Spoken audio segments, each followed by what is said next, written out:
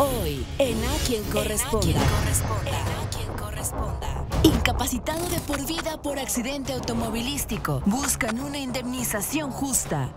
Denuncian negligencia médica tras ser sacado de un sanatorio en mal estado de salud. Desde pequeño busca cumplir su sueño, conocer a su ídolo. Hoy,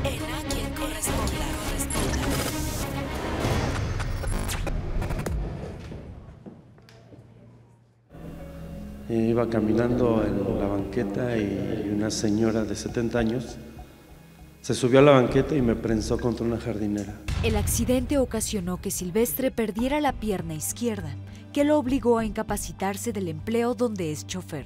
Denunció el hecho el 3 de octubre del 2018 ante el Ministerio Público en Naucalpan, Estado de México, por lo que citaron a ambas partes para declarar. La señora en el acta declara su culpabilidad tal cual, o sea, como fueron los hechos. Silvestre recibió atención médica en el IMSS, por lo que no necesitó apoyo económico para las operaciones. Sin embargo, el accidente le causó una discapacidad que de por vida le va a ocasionar gastos, como terapias, renovación de prótesis, medicamentos, entre otros, por lo que pidió a la aseguradora de la mujer que lo atropelló una indemnización. Esta se ofreció a dársela siempre y cuando presentara comprobantes de los gastos de atención médica, mismos que no puede obtener ya que el IMSS no expide facturas, por ser un servicio gratuito para los derechohabientes. De plano así nos dijo que no podía pagarnos nada puesto que no teníamos facturas. Silvestre ahora vive la incertidumbre, ya que no sabe cómo podrá solventar los gastos de la discapacidad y a la vez cumplir con su responsabilidad en el hogar. Me preocupa mi familia. Hasta ahorita, hasta la fecha, tengo mi trabajo.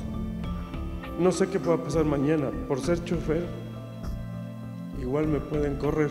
Busca el apoyo con asesoría jurídica y la atención de las autoridades para resolver el problema que afecta la tranquilidad de su familia. Con imágenes de Fernando Guerrero, Yesenia Santiago, a quien corresponda.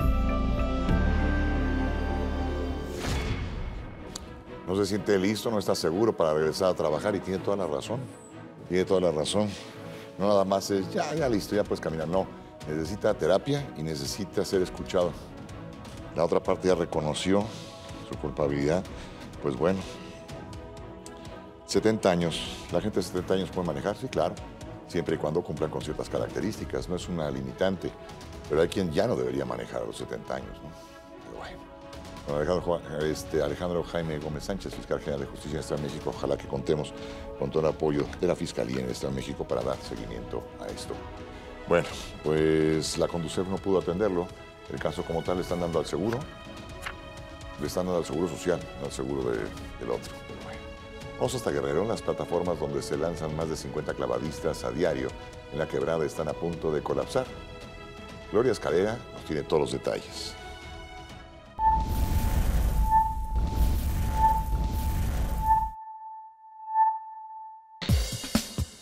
Las razones por las que miles de turistas llegan a Acapulco cada año para disfrutar de una forma distinta de la puesta del sol. Son los clavadistas de la quebrada, ícono de este destino a nivel mundial. Somos el ícono de Acapulco y, bueno, me atrevo a decir que de México.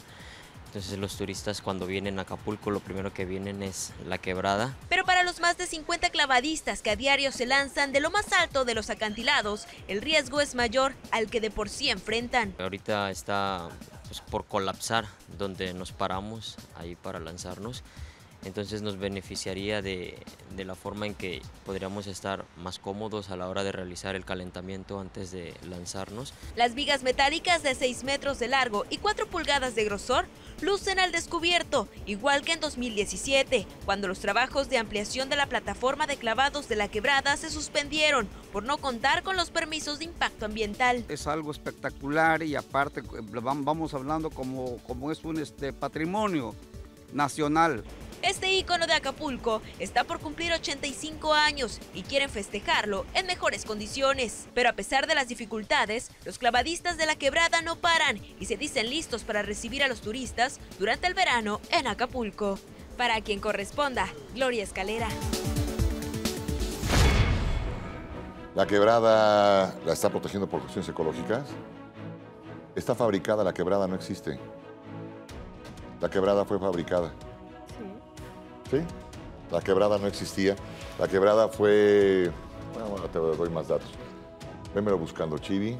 Este, construcción de la quebrada. La quebrada fue hecha a base primero en una época pico y pala para abrir ese hueco, para que dejaran circular el aire en Acapulco porque las enfermedades estaban a todo su apogeo. ¿Será que poco más de 100 años? Porque los clavadistas están a punto de cumplir 85. No, y después de esto no se acabó, ya le entraron con dinamita y otras cosas. ¿Ya lo encontraste, Chivi? No, hombre, estás muy lento, de veras. De veras, de veras, Chivigón Pau Pau. Pero bueno, la quebrada, aquí lo tengo. El calor estaba sofocando Acapulco.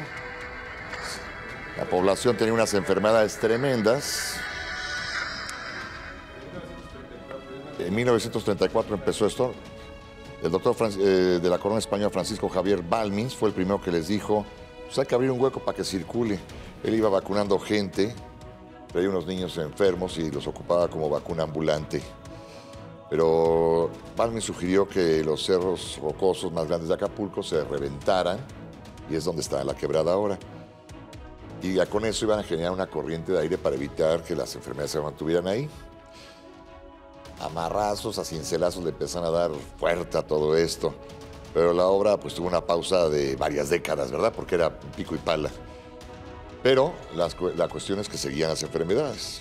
En 1876, una brecha de 300 metros de longitud se abrió, ya le cargaron dinamita y abrieron esta brecha. O sea, vamos a proteger la ecología si, si eso no es natural.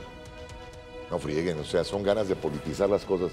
Eh, los clavadistas de la quebrada tienen características interesantes. Muchos de ellos son padre, hijo, abuelo que han pasado y han heredado esto. Y es un atractivo turístico que Acapulco necesita, mi amado y querido Acapulco.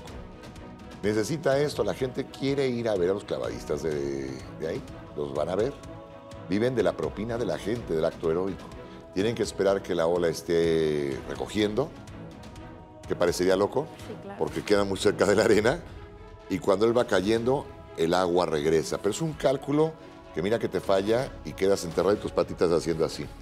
Y allá al lado está la famosa cueva del diablo de Acapulco. La cueva del diablo dicen que entran y nadie sale. Y no saben por qué. ¿Qué? Tengo que confesar también que en Mazatlán tenemos la zona del clavadista y justo enfrente está la cueva del diablo. Bueno, esta cueva se abre, ya se la descubren ahí cuando empiezan las dinamitadas. No saben si ya estaba la cueva o es parte del proceso de... Pero ojalá que Ernesto Rodríguez, el secretario de Turismo, les eche una mano porque hay gente que vive de esto, pero lo más interesante, hay gente que va a ver esto. No sé si sigan teniendo el burro de la roqueta que emborrachaban con cerveza. A mí se me hacía bien gandalla por el pobre burro. El burro le compraba la cerveza. Mantenía gente, no sé si sigue así. Y todo el mundo dice que es el mismo burro que se ha mantenido por siglos, porque con la cerveza se mantiene sano y fuerte. No, hombre, se les ha muerto de cirrosis todo seguro. Pero bueno, Adela Romano Campo, presidenta municipal de Acapulco Guerrero, ojalá que tú apoyaras a esta gente. Héctor Astudillo Flores, gobernador de Guerrero, ojalá que los apoyen. La plataforma, no me salgan los ecologistas con que no, la naturaleza lo dejó así. Mangos, esto no existía, impreparados, y esto, esto, esto así, así como lo ven, en una de las puntas rocosas más grandes de Acapulco y la reventaron para que se hiciera la corriente de aire y circular a todo el aire. Voy a investigar si la zona clavadista también fue fabricada. O ya agarran su piedra si es natural. Sí, no, mira, lo dinamitan, empieza a circular el aire, bajan las, las infecciones y las enfermedades. Y alguien algún día dijo, me cae que sí me aviento. Así empiezan las cosas, ¿no? La quebrada. Sorpresa. Eh, les encargo eso mañana, preparen una piececita ahí nada más de la quebrada. Háganme llegar esto para... Lo vamos a, dar a la gente. Y a ver si conseguimos una entrevista ya con la presidenta municipal, a ver si la consigue Gloria Escalera. A ver si Gloria te recibe por allá. Ya este, Adela Romano Campo, presidenta municipal de Acapulco. A ver qué va a suceder con la, con la quebrada. Es poner una plataforma. Es darle dignidad a esto y la plataforma le pueden dar terminado de roca para que parezca también como él. Y si no encuentran quien lo haga, le encargamos a forilleros de TV Azteca que vayan y les hagan un presupuesto de esto y se las dejen que parezca roca. ¿Qué tal? Tu cara de sorpresa cuando te dije que no existía. Sí, porque pues yo, por ejemplo, que soy de Mazatlán y que tenemos también esta zona y es una roca muy similar, digo, también habrá sido por esta situación. Esta tiene su razón de ser. Bueno, vamos a la alcaldía de Talpan. La preocupación de incertidumbre también de una pareja pues está aumentando día a día. No saben el paradero de su hija y han pedido que las cámaras de aquí corresponda los acompañen y nos digan qué, qué creen que pasó y nos presenten su petición. Jocelyn Valeria, de 14 años de edad, se fue de casa el pasado 1 de julio. Aparentemente, escapó con un compañero de la secundaria llamado Braulio. El último rastro que yo tuve con ella fue el día martes 2 de julio a las 5 de la tarde en la delegación Cuauhtémoc. De inmediato, la familia presentó una denuncia y levantó la alerta Amber. Además, lograron contactar a los padres del muchacho. Al comentar el que están bien, se supone que están juntos. Entonces yo estoy segura que mi hermanita está con este chico. Muchos podrían pensar que se trata de algo normal en la vida de cualquier adolescente, pero el sábado pasado, una joven se comunicó con ellos a través de redes sociales. El día 6 de julio llegó una niña ahí con nosotros. Aparentesco ya había sido víctima de este chico. La nena nos habla que que justamente cuando cumplen las chicas ocho días con ellos, las mueven de, de nuestro país a Estados Unidos. Nosotros creemos que nos han dicho que pues puede ser que estas personas sea trata de blancas, nosotros no lo sabemos, no estamos seguros. Yo no sé si esté con gente peligrosa o gente de bien. Este testimonio fue motivo de alarma por lo que el lunes 8 de julio un agente del Ministerio Público contactó a los padres de Braulio y le solicitó entregar a la menor. Tienen los papás de los del niño entregar a mi hermanita el día miércoles 10 de este mes. Y si no, pues ni modo, van a proceder como la ley corresponde. En medio de nuestra visita, Elizabeth se enteró de que en redes sociales circulaba una falsa respuesta a la alerta Amber por lo que fue necesario contactar a la Procuraduría de la Ciudad de México. Entonces, muy probablemente es la persona que está tratando de que no se busque. Entonces, eso es importante para que se haga el rastreo. Aún en espera, la familia lanza este llamado con el objetivo de localizar a la pequeña Jocelyn. Por eso nosotros tenemos este contacto, por si la ve gente para que nos apoye, porque depende de ellos es la vida de mi menor. Cuenta segundos, cuenta minutos ya no cuenta mucho tiempo. Y a ti, hija, te pido que si estás viendo, que regreses a la casa. Lo pasado, lo pasado y de aquí para adelante. Con imágenes de Claudio Iquigua para quien corresponda, Diego Mendoza.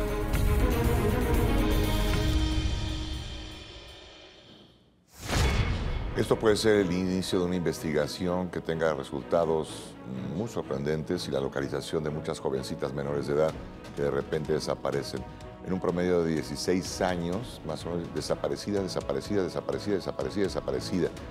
Y si aquí tienen ubicado a, los personajes, tal vez valdría la pena darle un jaloncito, a lo mejor a ese pequeño hilo aparece una hebra de una hebra, viene un gran listón y algo interesante.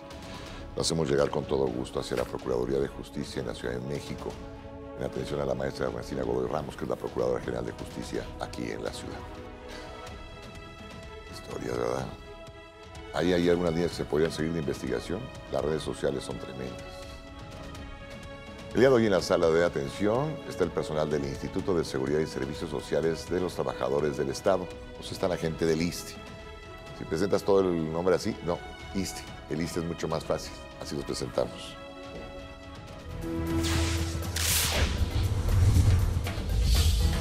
Hoy en sala de atención. Personal del Instituto de Seguridad y Servicios Sociales de los Trabajadores del Estado, ISTE, se encuentra atendiendo sus dudas sobre trámites para trabajador, pensionado, jubilado o derechohabiente a través de la línea AQC 5166-2313. Y están ahí en este momento, en la sala de atención, todo el personal del ISTE. Si usted tiene algún comentario, sugerencia, algo que platicar con la gente del ISTE, usted es trabajador al servicio del Estado y depende del ISTE, crédito, este, vivienda, atención médica, una cuestión, hoy está el ISTE, aprovechen. Y gracias al maestro Jorge Torres Góngora, subdirector de Servicios al Público del ISTE, así como a Sergio Ortega y Daniel Martínez Morales, personal del ISTE para para platicarnos sobre estos trámites a los trabajadores y derechohabientes. Comuníquese al 5166-2313. Está el día de hoy aquí. Gracias, Luis Antonio Ramírez Pineda, titular del ISTE. Gracias por el apoyo, Luis Antonio. Ojalá pronto también te tenga por aquí en el estudio para poder platicar y comentar con la gente de todo lo que se avecina en el ISTE, aquellas cosas que estarán en el ISTE. Hay un grupo de gente que nos ayuda juguetón con juguetón y lleva una tradición militarizada muy interesante. Me refiero al Pentatlón Deportivo Militarizado Universitario, que está cumpliendo la friolera de 81 años. Marina Parrea estuvo presente en este evento y nos tiene todos los detalles. Se llevó a cabo la ceremonia del aniversario número 81 del Pentatlón Deportivo Militarizado Universitario. Y además, de manera simultánea, se realizó la reposición de la bandera nacional del pentatlón, misma que fue utilizada desde 1983. El general de división, comandante de la primera región militar, Rogelio Armando Patiño Canchola, en representación del secretario general de la Defensa Nacional, Luis Crescencio Sandoval, entregó la bandera de guerra al jefe nacional del pentatlón, Raúl Hernández Padilla. Representa que reitera su compromiso con la patria, la institución, al haber repuesto la bandera nacional que tenía 36 años eh, vigente, ya deteriorada, y por reglamento debe ser repuesta. Y por lo tanto el Pentatlón renueva su compromiso de servir y trabajar por México. En el evento estuvieron presentes poco más de 2.500 asistentes, entre ellos dirigentes del pentatlón de cada uno de los estados de la República. El Pentatlón tiene abiertas sus puertas para que los jóvenes se integren en nuestras filas. Queremos tener sangre joven, queremos tener nuevos elementos, queremos buscar el eco con la sociedad mexicana y no hay ningún problema, los requisitos son mínimos para ingresar a nuestras filas. El Pentatlón Deportivo Militarizado Universitario se encarga de brindar apoyo al país en momentos críticos, tales como sismos o inundaciones, y ayudan en labores de reconstrucción o reforestación, además de fomentar el deporte en la juventud mexicana. Formar parte de esta institución es un orgullo para muchos, por lo que un año más representa un gran compromiso para servir a nuestro país. Con imágenes de Fernando Guerrero, Mariana Iparrea, a quien corresponda. Felicidades a todos los integrantes del Pentatón Deportivo Militarizado Universitario y mi reconocimiento por esa actividad y por el apoyo que año con año nos brindan en el juguetón con todos los que están ahí sumados a ellos. Que le... A ver, gracias por el comentario. Nos dicen que nadie va a arreglar la quebrada porque ya no está Fonatur y Fonatur es el encargado de arreglar la quebrada. ¿Vio la desaparición Fonatur?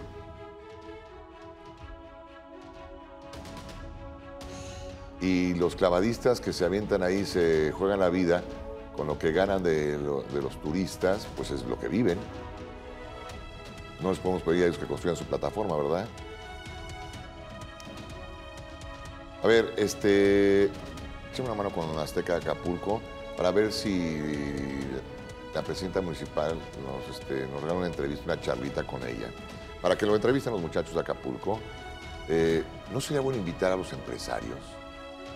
Porque al final de cuentas lo que necesitan los hoteleros, restauranteros y los prestadores de servicios en un puerto es que la gente vaya a tu hotel, a tus restaurantes, pero, pero ¿por qué van a venir a ellos? Si hay restaurantes y hoteles en todos lados. Debe haber algo ahí, ¿no? Por ejemplo, la Virgen del Fondo de Cristal, que es otra de las tradiciones, la saca un grupo de buzos encargados año con año, determinado tiempo, la sacan, la limpian, es una ceremonia volver a depositarla en el fondo y hacer todo esto. Pero no sé si tengan los fondos para poner la plataforma. Y además, Una construir una plataforma a la altura de estos son 45 metros de altura. Sí, ya andas jugando al albañil, ¿no? 45 metros se avientan. O sea, ¿Desde ahí? No, y no, los- no hay nadie quien lo apoye eso. ¿Cuánto, cuánto vale? ¿Cuánto vale? ¿Tú los vas a apoyar? Yo apoyo a mi México, yo voy y la pongo. ¿Cuál es el problema? Vamos Si a- tienes cara de trabajar en la tele, te va a costar varios millones de dólares. ¿Sí? Ah, entonces vamos a pensarlo bien. Vamos a pensarlo bien. Sí, porque siempre piensan que aquí sobra la lana. No saben que somos asalariados. Pero este sí, ah, trabaja en la tele y le cuesta el doble. No, compadre. Pero bueno. ¿Y tú qué? ¿Quién te invitó a saludar? Ah, Hola, ¿cómo está? Buenas tardes, buenas Ibas a tardes. chulear a calle. Sí, la verdad es que sí, la verdad es que sí. Yo y otros más, ¿eh? De aquí de la tablet, uy, no tienes una idea. No, te voy a imprimir todos los comentarios que te llegan y te voy a hacer un libro empastado y toda la onda. Que exactamente porque dicen que te ves exageradamente guapa. ¿A qué se debe? No saben a qué se debe. Yo Oye. sí sé a qué se debe. Pero espera, ¿a qué se debe? A Suburbia. Suburbia siempre me consiente con los mejores looks, como el día de hoy. Entonces, muchísimas gracias. Estás como maleta antigua de viaje que lleva miles de etiquetas como de los países visitados. Pues sí, ¿no? La- todos los lugares que no voy a visitar este verano. Bueno, pero oye, el ofrecimiento que te acaba de hacer el urbano está padrísimo. Te va a imprimir todos los comentarios, te los va a encuadernar, empastar y te los va a entregar. ¿Cuándo? Oh, un día de estos, ¿no? O sea, no dije cuándo, un día de estos. O Un- sea, ¿estás en campaña política o qué? No, no, no. un- por ejemplo, diciembre, que uno está medio decaidón y que te pongas a leer todos tus comentarios. Diré, ay, Va. qué guay. Lo esperaré. Ya, ponte a trabajar Urbano. Si usted quiere contactar a Urbano, márquele al 5510 7860 35. 5510 7860 35. Y le manda la fotografía de la calle más fregada de México. Todo mundo dice que vive en la calle más fregada de México, pero venga, que hay que mandar una fotografía para ponerla al concurso de ¿Cuál es la calle más Exactamente. fregada de México? Iniciamos. Y, no solamente recibo los mensajes de Carla, también las imágenes, por favor. No, las imágenes son las importantes porque ahí queremos ver la calle más fregada de México. Y si nos dice cuánto tiempo lleva así, pues está padre, ¿no? Exactamente. ¿Cuál es la calle más fregada de México? Dicen que es la calle Aluminio. Ah, la de aquí no, ¿eh? La de aquí no, porque acabo de ir estaba bonita. Calle Aluminio, en la Colonia colonia Minerales Minerales. del Sur, del municipio Sur. de Puebla, Puebla. Vea. Esto es en Puebla. ¿La calle es la del pastito o lo de arriba? Cualquiera de las dos sería que está fregada. Es Bueno. como un acueducto raro, ¿no? Pues si la calle es la, colonia La Minerales, Ajá. es esto, Colonia Minerales del Sur, la calle es aluminio, pues a lo mejor no es calle y es un principio de mina. Podríamos dejarlo así. Pero la gente dice que es calle, entonces hay que pedir directamente a Claudia Rivera Vivanco, presidenta municipal de Puebla, Puebla, pues que le eche un ojito, porque tu gente hoy te pone en la lista de cuál es la calle más fregada de México. Les falta visión, señor. Yo lo inundaba ese canal, metía dos chinampas, una trajinera y volvía a eso un lado turístico. Tú hasta que seas presidente municipal de Catepec haces todo eso. Por ahora esto es Puebla y ojalá que le dé una vuelta por ahí Claudia Rivera Vivanco. ¿Cuál es Vamos la a la calle más fregada de más México, fregada de 50 y... México? Shh, No, habla uno y otro, no a los dos al mismo tiempo, ¿no? Si no estamos como meroricos en el camión. Me callo. Entre el chofi se puede subir, arriba las manos, hijos de la guayaba. Y el chofer que dice, atrás hay lugar, pues nadie entiende. Y el Ese es el ejemplo. ¿Mandé? Y el bajan. Bajan, pásale al chofi.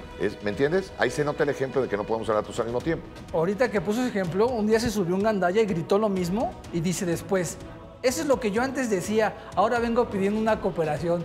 Pero yo me sentía desmayarme así de... "Ah, ¿qué es Pues esto, el gandalla señor?". se sigue con la broma, un día le van a romper el Yo hocico, creo que pero sí, bueno. yo creo que sí. Pero vámonos con la que... 5510 7860 35. La que sigue es la calle Miguel Hidalgo en Tuyehualco, alcaldía Xochimilco, aquí en la Ciudad de México. Vamos a verla. Mire, Una calle que se ve que en un tiempo por aquí caminaron marqueses, marquesas, reyes y princesas cuando estaba coqueta, pero ahorita ya no le dio mantenimiento y ya se la está cargando el payaso. Y así está toda la ciudad por todos lados. Hoy por la mañana te voy a mandar a grabar uno. Me tuve que hacer un retorno, había tráfico, nos fuimos a subir aquí a, Santa Teresa. Ya después te digo, pues no voy a hacer comerciales. Pero este, ¿qué? Pero hay una mina ahí tremenda que se ha hecho. Y al fondo, ¿qué crees que hay en esa mina? ¿Qué hay? Coladeras. Ah, la van aventando. No, se sumió la coladera, burro. Ah. Este, José Carlos Acosta, alcalde de Xochimilco, esta calle nos las han enviado toda la gente de Xochimilco que vive en ella y nos dicen, hoy queremos participar en la calle más fregada de México, una calle en el olvido, de esas de, pues, ya, ya, ya, sí llegas, ¿no? Sí llegas a tu casa. José Carlos Acosta, alcalde de Xochimilco. Vamos con la que sigue. ¿Cuál es la calle más fregada de México? Es la calle 12 de octubre de la colonia Xochaca, parte alta, en el municipio de Chimalhuacán, en el Estado de México. A ver. Ay, Colón la viera, se cae de espaldas. Sí, mire. ¿Cuál es la calle más fregada de México? Es la calle 12 de octubre en Xochiaca, parte alta de Chimalhuacán, en el Estado de México. Y Jesús Tolentino Román Bojorquez, presidente municipal de Chimalhuacán, hoy se está enterando porque sus vecinos, quienes lo colocaron en esa posición con el voto, le dijeron, mi calle no la has arreglado, nos dijiste que iba a haber vialidades y hemos decidido mandarte al concurso de ¿cuál? ¿Cuál es la calle más fregada de México? Oigan, esta está queriendo ser la ganadora del día de hoy. Tiene como un acueducto ahí, mire, vea. es una obra Un acueducto, puede ser un drenaje al aire libre o, o el agua agarra su camino y ya hizo cada canalito cuando llueve. Pues ahí están las calles más fregadas de México. Mande fotos y la ubicación exacta de esto. Díganos cuánto tiempo lleva ahí. ¿Cómo la ve? Ah, bueno, tenemos ¿no? varias. de- tenemos una de 25 años, va ganando. No, una de 32. Así que mándame la fecha a ver cuánto tiempo, que- a ver quién gana. A ver quién gana. No, y hay algunas que llevan toda la vida así, desde que nacieron, desde la época de la colonia, pero ya no está ni Cortés para reclamarle, ¿no? Pero bueno, ¿qué pasó allí? Pues vamos con la información que le preparamos al público televidente y ponga mucha atención. Un libro en ocasiones, bueno, pues es la ventana para conocer nuevas culturas y partes del mundo, incluso para rehabilitar a quienes se encuentran en los reclusorios. Preste atención a lo que nos preparó mi compañero Rubén Monroy. A quien corresponda y Juguetón continúan realizando alianzas y en esta ocasión una importante empresa editorial se suma a nuestras causas. Se trata de Penguin Random House. A principios de este año nos vinculamos finalmente con Juguetón, eh, felices de poder participar con, con Juguetón en, en la entrega de libros a niños de escasos recursos. Sabe que leer un libro es realizar un viaje maravilloso.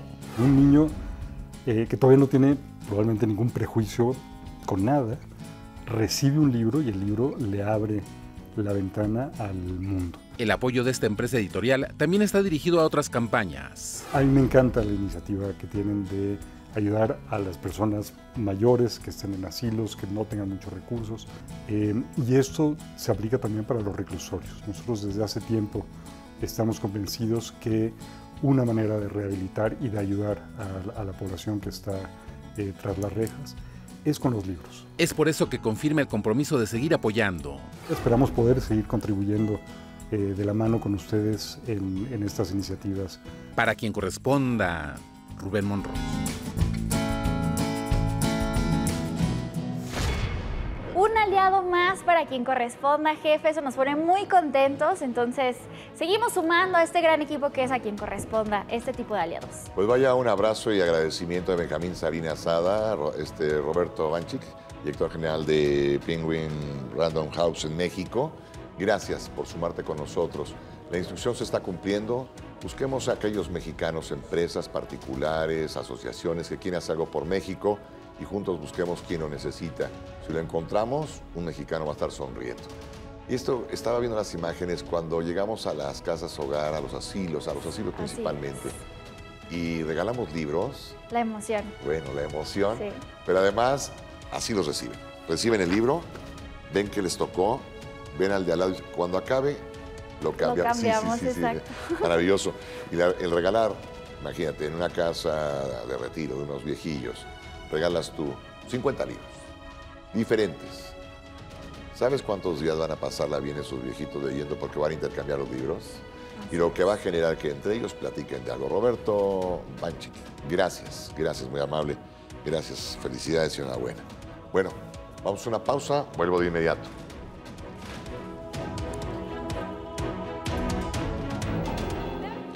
Ya están invitando que te vayas a echar un clavado a la quebrada. Sí, son 45 metros y que vayas a probar lo que es una gran emoción. ¿Pero yo aventarme o ya nada más ir a ver? No, no, no, que te avientes. Señor. Ellos, van a decir en qué momento te puedes aventar. Señor, Eh, yo ya soy grande. No creo que sea buena idea. yo, yo ya soy grande. ¿Me podría aventar así de... Sí, claro. No, ni así está fácil, ¿eh? ¿No? No, no, no. ¿Por qué si no? es- Es que te avientas así, empiezas a rasparte la espaldita en las piedras, la nuca y todo. Tienes que separarte de la plataforma. Practiquemos. Haga de cuenta que yo voy a estar así, ¿no? En mi quebrada. Estiro patita, ¿no? Piecito. Y me aviento. Y entonces las piedras van a ir raspándote la espalda, las pompas, la, la nuca, y a lo mejor hasta se te compone la máquina de pensar. Fíjate, si ahí te dolió en tu banquita. No, yo, yo creo que los Ya que lo están grande. invitando tienen una técnica padrísima en la quebrada. Van a estar viendo la ola en el momento adecuado donde ellos harían, oh, así, oh, y listo. Quebrada de cabeza es la que me voy a No, dar. no, no, no, no, no, no, sí sale, ¿Sí salgo? te creo, ¿no? ¿En una pieza? No hay imposibles. ¿Me pongo casco? Motívate, no hay imposibles. Bueno, ya te Tú invitaron, que sí, que te vayas a probar lo que sí son 45 metros. 45 metros. Un espectáculo. Es más, yo voy contigo. Te acompaño. Va, Yo te grabo. que, si, que si ponen la plataforma, que si también este, pedimos a las autoridades que y al público que ayuden porque la forma del agua que pega ahí la llena de basura y que es peligroso para ellos también. Bueno, vamos a la alcaldía de Iztapalapa. Un supuesto mal diagnóstico está ocasionando severos problemas de salud a un hombre. Brenda Cervantes nos tiene los detalles. Las secuelas de un mal diagnóstico médico han cambiado por completo la vida y salud de don José Luis. Estuve al borde de la muerte por una negligencia médica y me diagnosticaron gastritis y después tres tumores en el hígado, de lo cual ninguno fue real de los padecimientos. Al paso de siete años, recuerda que los fuertes dolores de estómago lo llevaron a buscar la clínica más cercana a su domicilio. Fui atendido en un hospital que se llama Los Reyes SADCB, de lo cual me, me diagnosticaron otros padecimientos que no eran a los que realmente yo tenía. Explica que después de tres días de haber estado hospitalizado, personal de la clínica decidió echarlo a la calle al ver que su salud empeoraba, por lo que de inmediato acudió a otra unidad médica. En el, Hospital Regional de Liz Zaragoza me atendieron de peritonitis, peritonitis nivel 4, la más alta que hay. Desde entonces he tenido cinco cirugías. Desde 2012 inició un proceso en contra de la clínica Los Reyes SA de CB, a pesar de tener el fallo de la Comisión Nacional de Arbitraje Médico para proceder civil o penalmente, no hay una respuesta hasta la fecha. Estoy solicitando una indemnización. Don José Luis aún sufre las secuelas de aquella mala práctica médica. Y ahorita es el tumor que está pegado al riñón, a base de, de que quedó una infección que en ese momento de mi cirugía no la detectaron y fue creciendo, fue creciendo. Pide justicia, así como la suspensión de actividades de la clínica, con imágenes de Fernando Guerrero para quien corresponda, Brenda Cervantes. Con la petición directa, la maestra Ernestina Godoy Ramos, ella es la Procuradora General de Justicia aquí en la Ciudad de México. Y bueno, pues vamos adelante. Tengo invitada en el estudio y es una mujer a la que yo menciono mucho en el programa y le doy una guerra que para qué le cuento. Si, si, me va a reclamar algo, hoy con toda confianza lo puede hacer. Está con nosotros Patricia Ruiz Anchondo, titular de la Procuraduría Social de la Ciudad de México. Vamos a presentarla así. Hoy en el estudio nos acompaña Patricia Ruiz Anchondo, titular de la Procuraduría Social de la Ciudad de México, para hablarnos sobre problemas condominales. Ya estamos aquí de regreso y te doy la más cordial bienvenida. Te voy a tutear porque como te doy guerra y con alguien que te agarra, pues para qué nos hablamos usted. ¿Cómo estás, Pati? Muy bien, muchas gracias por tu invitación. Esta es tu casa y tienes Gracias. uno de los retos de la ciudad más importantes. Sí. Porque eres la que me va a enseñar a vivir cuando logré el sueño de mi vida. Comprar mi casa en condominio. Eso es- que es como llegamos muchos mexicanos a vivir Claro. en condominios, pero de repente vengo de rentar, vengo de vivir con los papás y de repente ya compro, logro mi sueño, porque la gente sueña con Claro. eso. Y no sabemos vivir en condominio. Con tener su vivienda, por supuesto. ¿Cuánta gente pedimos la presencia de la Procuraduría Social?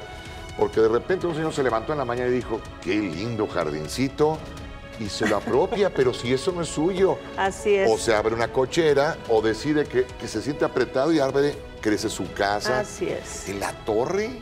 ¿Cómo estás? Así ¿Qué más es. hay? Cuéntame, esto que te digo, todo te suena familiar, ¿verdad? Pues son problemas muy comunes que se viven en los condominios. Eh, la invasión de áreas comunes es una de las cuestiones más difíciles porque se están apropiando de lo que le corresponde a todos. Al grupo. A sí. todo el edificio le corresponden sus áreas comunes, a toda la unidad habitacional le corresponden sus áreas comunes Ahí estamos viendo algunas de estas y imágenes. se apropian Y, y es un de abuso, al final de cuentas, sí. esto es un abuso espantoso. de manera abusiva, sí. Sí, porque, la- todo. porque el que vive en condominio debe saber que sí, es dueño de la propiedad, de, de- de la puerta donde usted entra a su casa para adentro, es suyo. Pero afuera comparte la propiedad de la escalera, las- los estacionamientos en caso de tenerlo, y a lo que conocemos como zonas comunes. Oiga, la azotea yo no tengo por qué impermeabilizarla. Yo estoy en el es. primer piso, me dan un sorbete del cuarto que se le mete el agua. Así no, es. también la azotea Cuando usted, las compadre. azoteas son eh, áreas comunes. Las escaleras son áreas comunes. Pero ¿por qué si estoy en la planta Los baja, para qué pago eso si no ocupo eso? No. Los cubos de luz son áreas comunes y es muy común que los condóminos le pongan un techito y ya, se extienden en los cubos de luz. Cuando con eso se están provocando también un problema a ellos, problemas de humedad, de disminución de la luz al interior de la vivienda, provocando problemas de salud. Claro.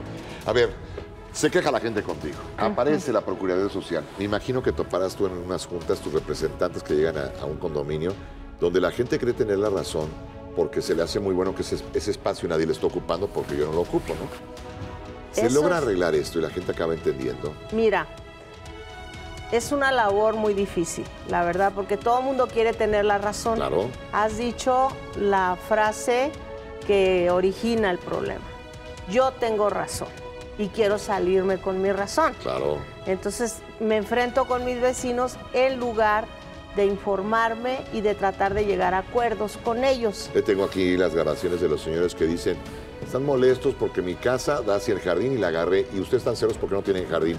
No, pero si era de todos, cochinón, pero bueno, sí, el jardín es de todos. Acabamos de hacer un recorrido por la unidad habitacional Xochinahuac en Azcapotzalco. ¿Es una unidad vieja? Es una unidad vieja. O sea, ya, ya se puede entender que la gente aprendió desde hace muchos años a vivir. Bueno, la invasión de áreas comunes es el pan nuestro de cada día.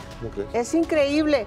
Es edificios, edificios, edificios y los pequeños espacios donde se pueden poner jueguitos para los niños, jardines para Claro. el esparcimiento. De pronto un vecino dijo, no, la mitad de este jardín es mía. Así como lo acabas tú de señalar. Es mía. Y se si mi- apropió si- hasta de las luminarias que había puesto la Si alcaldía. mi ventana da al jardín, el jardín es mío. Sí, Claro. sí, es una mentalidad que se tiene que cambiar.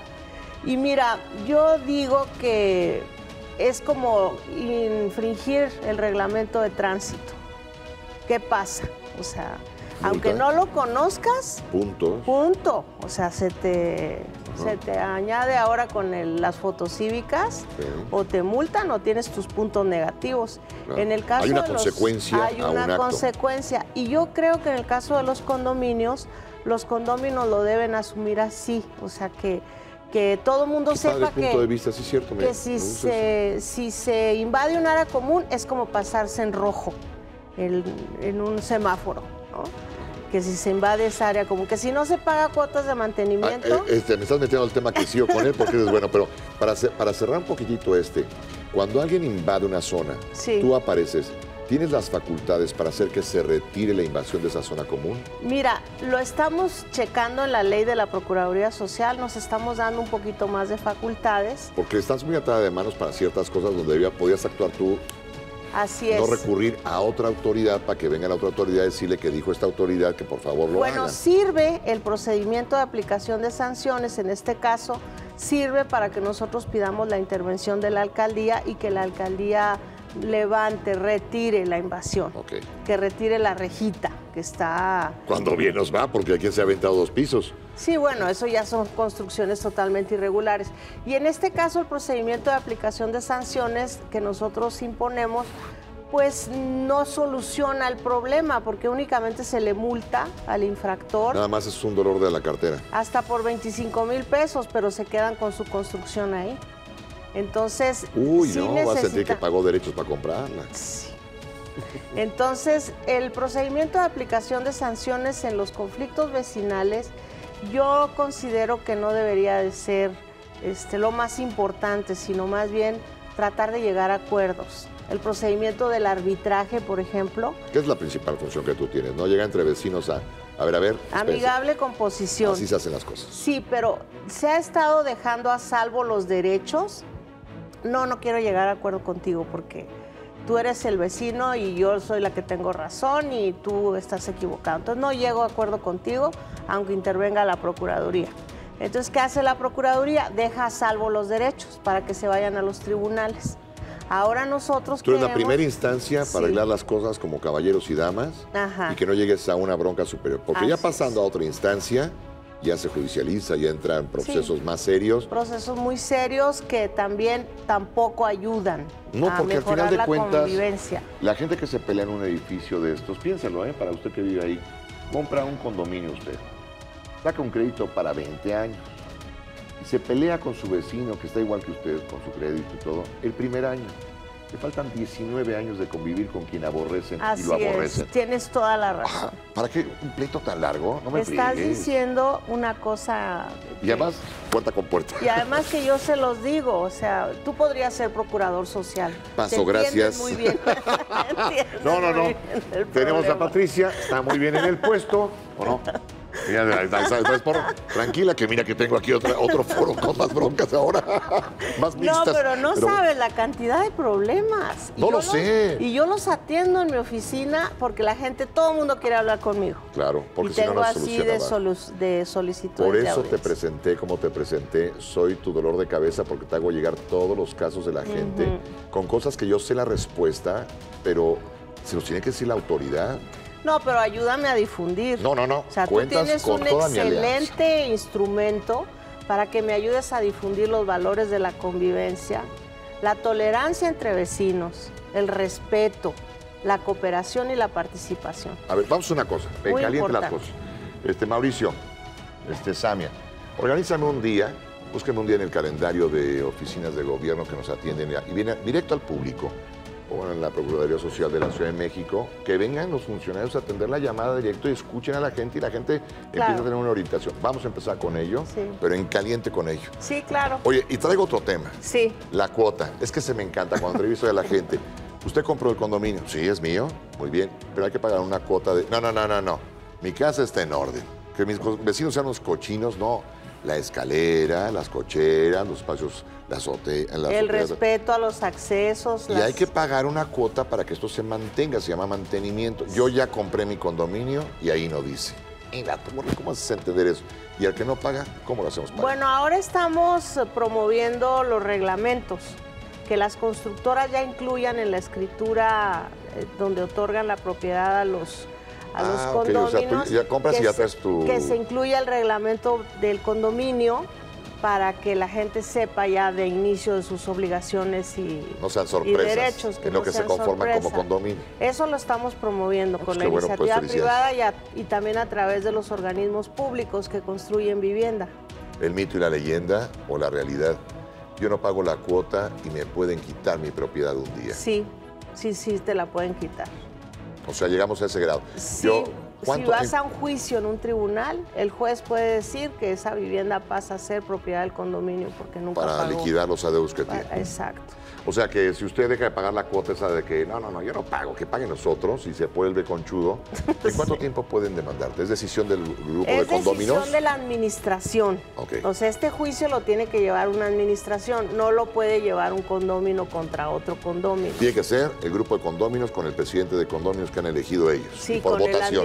Administrador El que fue electo en una asamblea legal, que cumplió todos los requisitos y nosotros checamos que efectivamente esos requisitos se hayan cumplido.